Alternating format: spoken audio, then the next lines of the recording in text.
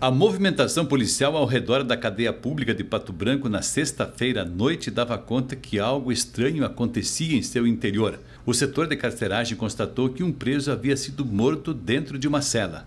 A Polícia Militar foi chamada para dar segurança ao IML e também aos técnicos da criminalística que fizeram os primeiros levantamentos numa cela onde estavam a vítima e mais 16 pessoas.